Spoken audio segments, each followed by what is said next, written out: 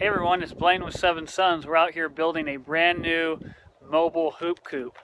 And uh, it's kind of a race against time because we have a thousand new laying hens that are going to be ready to move into this hoop house um, Tuesday of next week. So we only have a few more days left.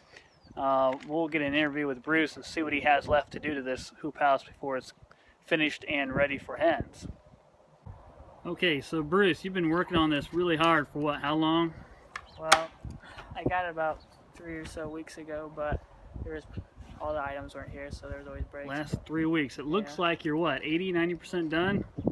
Yeah, 90. 90. What else do you have to do this before it's ready for hens? Basically, these, uh, basically all I need to do is build some doors at these, both these end walls, and down at the bottom, there's a board that hinge for when we move these things, the chickens don't get killed, and so the board will flat back up. Okay, so this is the inside here.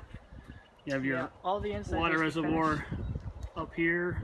Yeah, water okay. goes down to down to both walls where the so water comes in up here from our uh, water infrastructure lines we already have in the pasture. We'll hook into that, and then okay, tell me what happens. They go down both these these okay. garden hoses down to these water systems down here.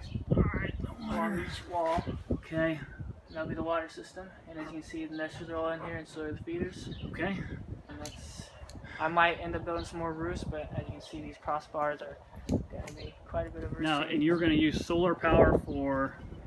Uh, the lighting, solar solar lights, and that's the panel I got right there. For the solar panel over there, so you'll, you'll rig that solar panel on here, and what yeah, will that power be for the lights, you said, right? Yeah, just, just the lights for sure. Okay.